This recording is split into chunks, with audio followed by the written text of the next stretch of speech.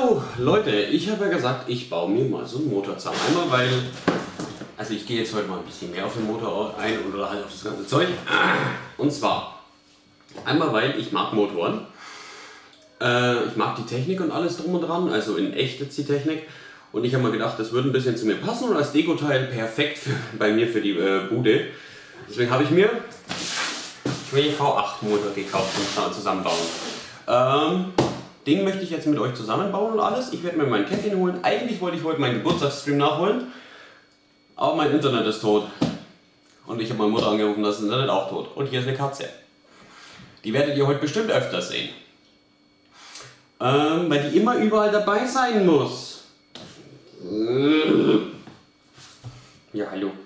Ähm, den werden wir heute zusammenbauen. Ich habe meinen Werkzeugkoffer da drüben hingestellt, weil hier ist es nicht so, da habe ich nicht so viel Platz für alles. Und ich habe mir gedacht, wir werden hier auf jeden Fall äh, das hier aufnehmen, weil hier ist Licht und wenn ich es dann mal nicht zu Ende schaffe, weiß ich nicht warum. Ähm, ist auf jeden Fall äh, auf jeden Fall besser, weil dann stört es hier nicht so. Und hier ist auf jeden Fall schön das Licht, weil ich habe da oben eine, äh, eine neue Lampe. Die alte habe ich kaputt gemacht. Jetzt ist mir das Glas runtergefallen, als ich sauber gemacht habe. Eine schöne LED-Lampe. So. Und eine flauschige Katze. Und eine flauschige Katze wird heute auch öfters dabei sein. Ihr seid schon auch auf dem neuen äh, Ständer da drauf. Also, hallo ihr auf dem Ständer. Etza Katze, es ist doch mal gut. Jetzt habe ich schon wieder über Katzenhaare. Ja, es ist gut. So, den bauen wir jetzt da zusammen. Und alles, ich mache mal noch einen Kaffee, dann geht es auch schon los, würde ich sagen. Und ja, bis gleich. So, ich würde sagen, wir äh, machen das Ding jetzt erstmal auf. Da ist einmal Klebeband. Und gucken mal, was mit, was mit drin ist. Hallo? Gehst du auf? Hä?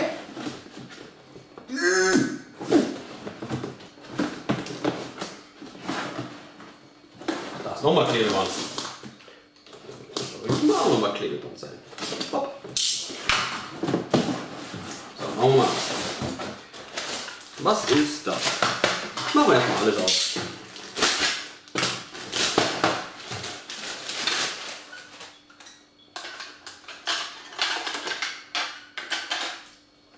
Das ist der Ständer, wo die Batterien rein sollen.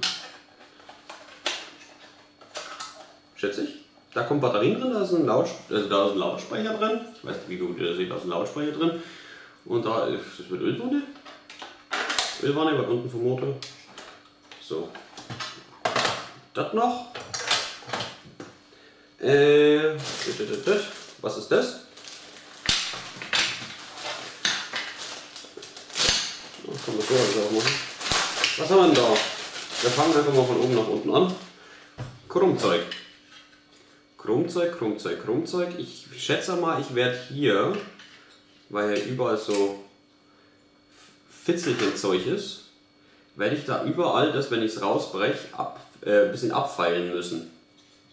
Pfeile habe ich da, ist alles kein Thema. Ja, da ist noch ein bisschen Zeug da.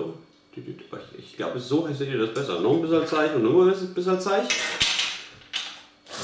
So, äh, ja gut, das ist der Block. Ich glaube, das kann, wo geht's denn hier auch hier?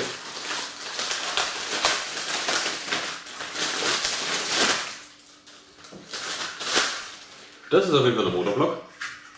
Man sieht die Zylinderchen. Ich weiß nicht, wie gut ihr das seht. Zylinder, Zylinder, Zylinder, Zylinder. Weil das Licht doch sehr hell ist und ich es nicht dimmen kann. Ähm, wird das die Vorderseite sein? So wie es ausschaut. Wird das vorne sein? Was haben wir denn da im nächsten Paket drin? Also ich habe gleich zwei genommen. Machen wir auf.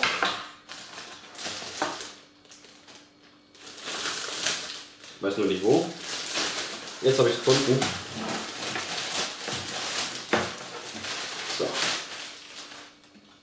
Das ist vorne Riemenabdeckung, da bin ich mir ziemlich sicher.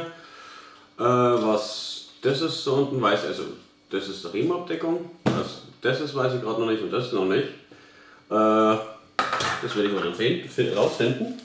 Dann haben wir hier, ah, Kipphebel und Lagerschalen und so Zeug sind da drin. Das ist klar, das sehe ich auf den ersten Blick. Oder wenn wir viel, viel, viel mit der Pfeile machen. Das erinnert mich an früher. Ich weiß nicht, ich habe es euch schon mal im Video gezeigt. Ähm, das erinnert mich an früher. Früher habe ich auf der Eisenbahn gemacht und von Merkel waren die Dinger auch immer so, wenn irgendwas zum, Bas äh, zum Zusammenkleben war und sowas. War das auch immer so. So, das ist das Zeug. Okay.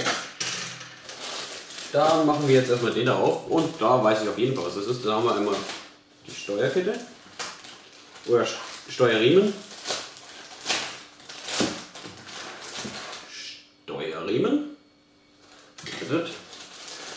Und was könnte das sein? Ich weiß es gerade nicht. Da haben wir auch noch Zeug. Und die Katze, die hier über rumschleicht und hier ein offenes Messer ist. Das tun wir lieber weg. Was ist das? Ah, das sind der Kopf. Würde ich sagen. Die Köpfe. Äh, jo. Das ist der Kopf. Hier, da, von hinten und von vorne.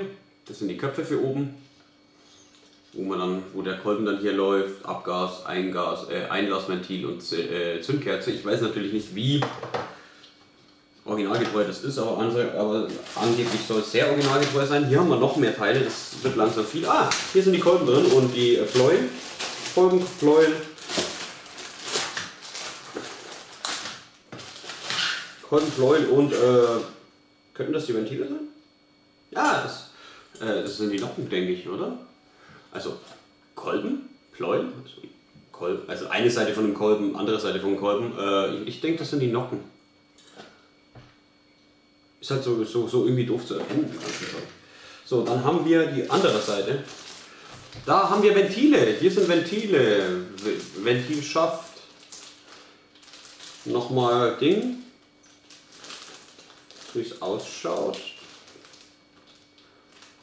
Auch von der Nockenwelle. Die okay. Da haben wir ein bisschen was. Okay.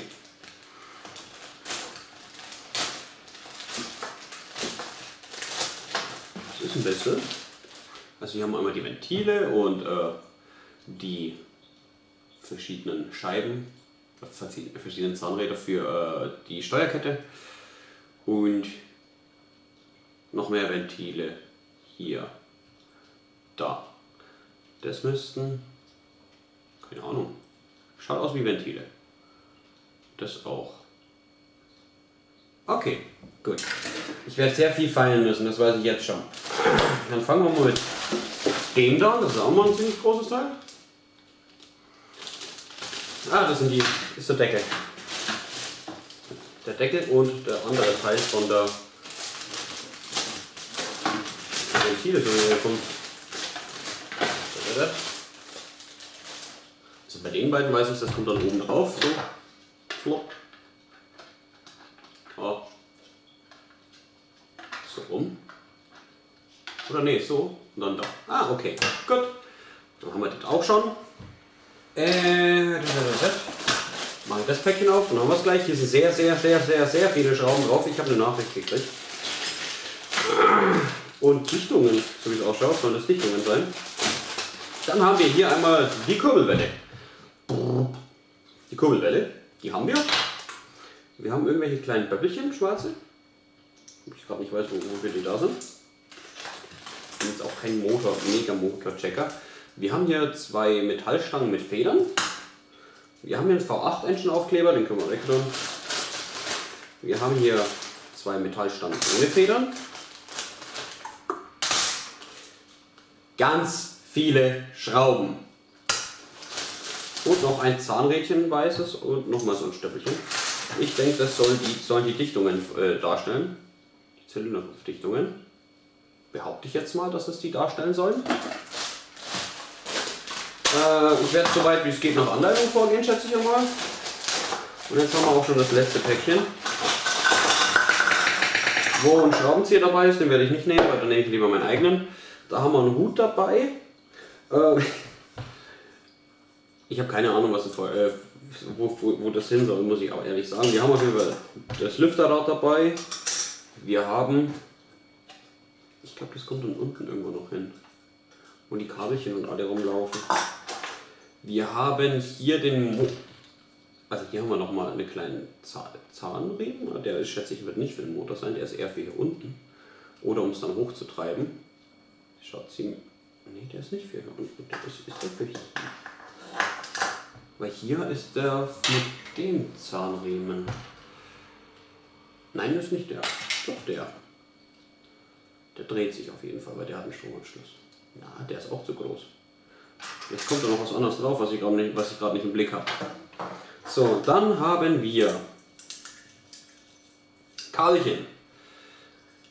Diese Kabelchen, da dreht sich auf jeden Fall auch was. Diese Kabelchen sollen die Zündkerzen dann darstellen, die dann leuchten. Da sind LEDs drin und die kriegen ihren Strom. Schätze ich von da unten, wo ich den Strom, äh, wo ich den Anschluss noch nicht gefunden hatte, vorhin. Wo ist denn der? Ach da. Genau, die werden dann hier eingesteckt. Flop. Alle beide und die kriegen dann den Strom von da unten. Von der Platte da. Weil der soll sich ja dann drehen und leuchten und alles. So passt's. Und ich würde sagen, wir legen mal, ich gucke mir mal schnell die Anleitung an, wie genau die ist. Äh, ist hier überhaupt eine Anleitung? Ne, hier ist die Partsliste, die Teileliste. Ja, das ist die Teileliste. Die ist sehr knickig. Step 1. Okay. Eieiei. Also ich würde sagen, wir gehen nach der Anleitung vor weil dann lässt sich das alles auch nach und nach und zum Schluss habe ich nur Teile übrig. Ich kenne mich nämlich, ich habe immer Teile übrig. So, ich räume jetzt mal schnell ein bisschen alles weg, damit wir hier wenig machen können und dann feile ich mal. Das werde ich euch alle ein bisschen beschleunigen. hust, hust, das werde ich mal alles einen Ticken beschleunigen. Ach, jetzt weiß ich, was ist das und das sind die, äh, das sind für die, ich weiß jetzt nicht, wie es heißt, aber wo Pleuel äh, mit Kolben befestigt ist. Das sind die Dinge. Ah, okay. Okay. Da würde ich sagen, ich mache einen kurzen Cut, räume schnell ein bisschen auf und rauche mal schon. Habe ich es mir nicht dahingestellt. Ich möchte nicht in dem Vlog wenig rauchen. Ich weiß nicht, äh, ist gleich genau nochmal zu drin. Ich weiß nicht, wie ich schneiden werde, ich weiß nicht, wie ich was sonst was mache. Ihr kennt mich, ich habe da immer relativ Plan, ich mache das einfach. Ähm, daher, vielleicht mache ich zwei Videos drauf, für, für den, der es interessiert, ihr könnt es gucken. Für den, der es nicht interessiert, schaut was anders von mir. Oder an sich schaut was anders. Ich werde jetzt erstmal in Highspeed feilen, alles, erstmal die Teile vorbereiten, weil da bin ich mir ziemlich sicher, dass wir da hier überall ein bisschen wegfeilen müssen und ich muss sehr auf meine Katze aufpassen, denke ich, weil sonst habe ich ein Problem. Und ich würde sagen, wir machen weiter. Ne? So, ich würde mal sagen, wir legen jetzt los mit Pfeilen. Ich würde einfach sagen, wir fangen mal an den großen Teilen an und dann gehen wir immer kleiner. Und dann sortiere ich mir das da an der Seite mal. Weil so doof bin ich nicht. Ich kenne mich ein bisschen in Sachen Motoren aus. Nicht so extrem wie andere vielleicht. Ein bisschen halt. Und ich würde sagen, wir legen los. Da brauche ich aber nicht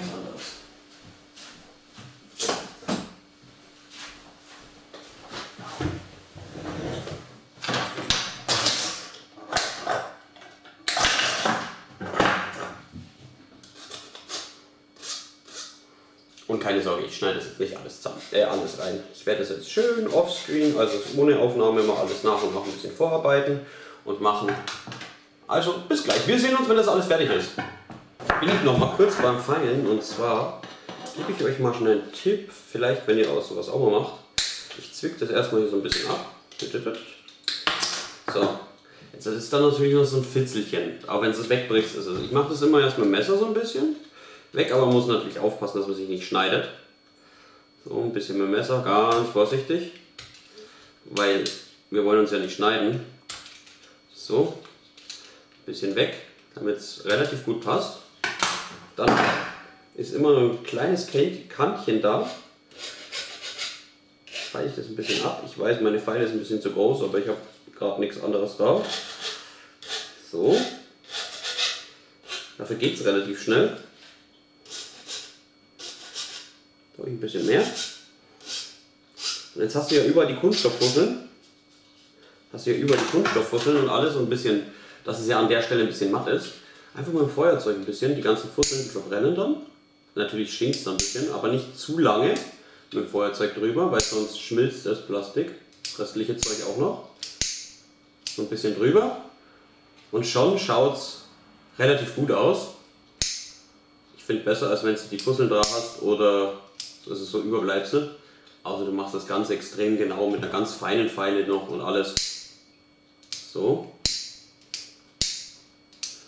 Und schon sieht man eigentlich kaum noch was davon. Ich weiß jetzt natürlich nicht, wie ihr das seht. Da muss ich auch ein bisschen drüber. So. Und schon sieht man kaum noch was. Aber nicht zu lange drüber bleiben, weil sonst schmilzt das Plastik drumherum. Und man sieht eigentlich man sieht keine matte Stelle mehr, man sieht nichts mehr. Oder halt fast nichts mehr. Da muss ich auch noch mal ein bisschen drüber. Und wenn man zu lang mit dem Feuerzeug drüber ist, dann verformt sich das Plastik und das wollen wir ja nicht. Aber die Fusseln und alles, was, was da noch so ein bisschen dran sind, vom Feilen, kriegt man so ganz gut weg. So, wunderbar, das war es eigentlich schon. Ich mache jetzt noch ein weiter. Ich habe das, groß, das große Zeug habe ich im Grunde schon fast alles. Jetzt kommt eigentlich das Kleinkram. Ah. So, das sind wir wieder. Ich habe jetzt nicht jedes kleinste Teil abgeschnitten, weil ich, kann, ich bin nicht gut mit Kleinkram. Aber ich habe schon das erste gesehen, was wir zusammenbauen müssen. Gerade eben schon. Wir brauchen Kolben und die Pleuden. Und ich würde sagen, diese Stangen müssten die sein. Jo, soll, sollte passen. So, die Stange rein, die Kolben rein. Die Stange in den Kolben. Zack. Und die andere Seite vom Kolben drauf. Zack. Und schon haben wir es. Ich weiß nicht, wie das heißt. Da steht, da steht drin äh, Connection Rod. Weiß, bei einem echten Kolben ist es da an der Seite drin. Also schiebt man sie von. Ein echter Kolben ist ja normalerweise schon so zusammengebaut. Ich möchte es dann zusammenstecken und dann tut man in die Seite rein.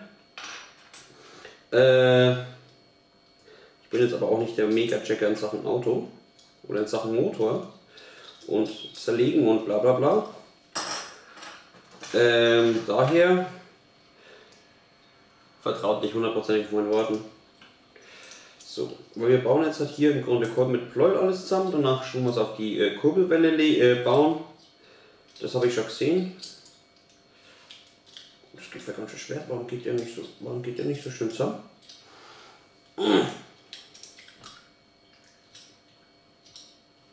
Der mag nicht so.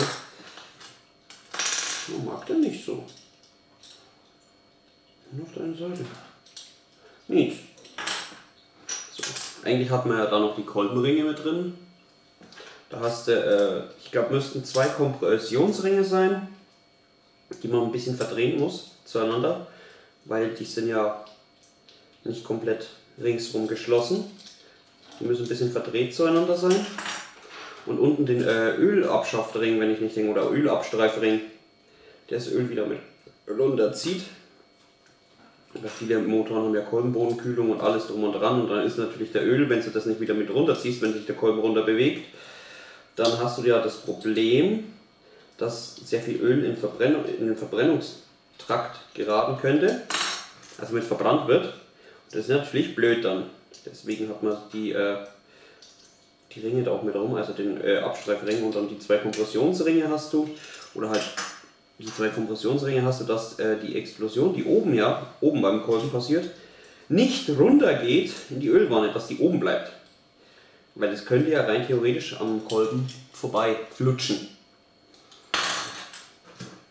Ich kann euch ja leider sowas nicht in echt zeigen, weil ich zerlege meinen Motor nicht wirklich.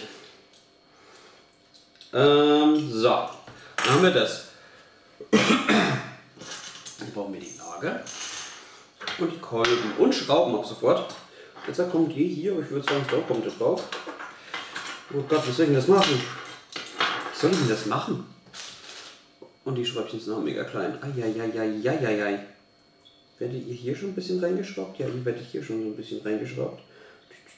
Ich, ich nehme da gerne meinen Schraubenzieher, statt den der mitgeliefert ist, weil meiner ist auf jeden Fall magnetisch. dann geht es ein bisschen einfacher. Und ich zitter wie Hölle, hey. So. Und das sieht man dann auch gleich. Das, jetzt habe ich schon den ersten Kolben fest. Ich glaube, ohne Kolben hätte, hätte, hätte ich es euch ein bisschen schöner zeigen können. Warte, ich schaue mal, ob ich es gleich kann. Und zwar, hier sieht man eine Kurbelwelle. Also zumindest an der hier jetzt, da gibt es bestimmt